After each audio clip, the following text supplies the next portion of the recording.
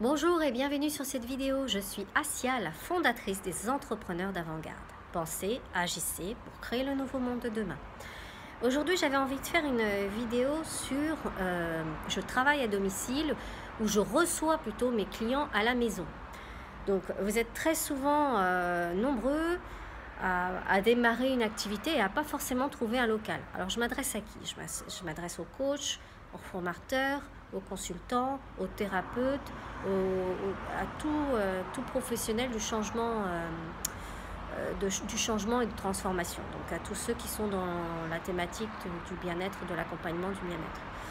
Alors qu'est-ce que je pense de l'histoire de commencer, de démarrer une activité chez vous, à domicile? Je reçois mes clients à la maison. Ben, J'y adhère pas. J'y adhère pas pour de multiples raisons, parce que déjà d'une, le fait de recevoir vos clients dans votre propre intimité, c'est déjà dérangeant. Même si vous créez une salle qui est euh, propre à ça, euh, j'adhère pas au fait que les clients peuvent aller euh, dans vos toilettes, qu'ils peuvent bah, traverser votre maison, voir votre chambre et tout le reste. enfin bref, c'est mélanger des énergies personnelles et professionnelles qui, à mon sens, sont pas forcément terribles. Après, ce qu'il faut savoir, c'est que euh, les gens peuvent aussi se dire que bah, vous n'avez pas suffisamment d'argent pour vous payer un, local, donc vous faites des économies. Ils peuvent se dire que bah, vous faites ça à l'occasion, que c'est de manière ponctuelle ou que c'est un hobby, que c'est pas vraiment. Vous n'avez pas la posture d'un professionnel à travers, euh, à travers ça. En tout cas, moi, c'est toujours ce que j'ai pensé quand j'ai été chez les gens. J'ai pensé que c'était. Euh, c'est ce que ça dégage en fait. Après, concernant euh, le fait que les gens, vous êtes quand même dans une thématique euh, qui, est de l'accompagnement, donc les gens sont quand même dans un certain mal-être. Donc ils vont venir vous polluer psychiquement et laisser leur casserole, leur pollution psychique chez vous et repartir. À la base, quand même, la maison, ça reste un lieu qui est notre lieu, qui est empreint de nos énergies. L'habitation est empreinte de nos énergies, donc elle est censée, cette habitation, nous relever énergétiquement. C'est même souvent, vous allez le constater, vous allez aller chez des gens ou en vacances et vous êtes contente quand vous retournez à la maison parce que vous sentez que c'est là que vous ressourcez, que c'est là que vous vous euh, reposez le mieux. Ben, c'est normal, c'est parce que votre maison a absorbé votre taux énergétique et c'est comme ça qu'elle vous nourrit. Mais si votre maison, vous lui permettez d'être intrusée par des gens qui sont euh, pollués, par des gens qui sont qui vont pas très bien, la maison va va en être forcément affectée.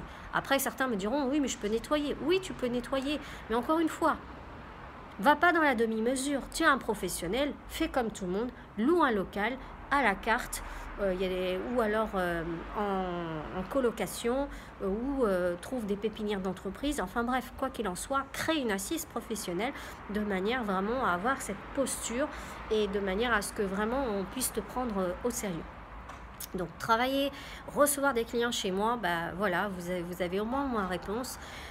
L'idéal, c'est que avant que vous démarriez, pendant que vous êtes en train de vous installer, pendant que vous êtes en train de trouver vos premiers clients, ben, je vous invite très fortement à vous réveiller et à chercher un local parce que c'est en cherchant qu'on trouve.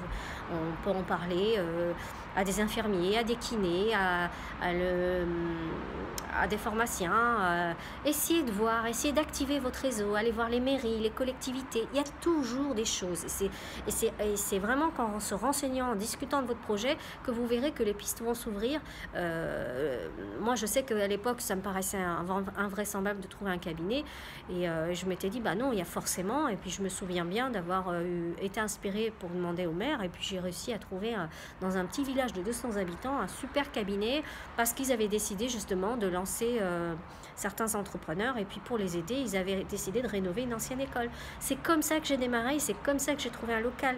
Donc euh, si j'avais jamais posé la question, je continuerais encore à recevoir les gens à la maison alors que c'est pas forcément l'idéal.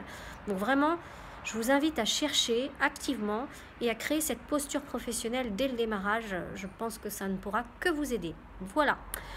Eh bien, si tu as aimé cette vidéo, n'hésite pas à la liker, à la partager et puis à télécharger mon e-book si jamais ça t'intéresse pour connaître les 15 secrets de ceux qui ne renoncent jamais. Le lien est directement dans le descriptif de YouTube. Je vous embrasse et je vous dis à bientôt les amis.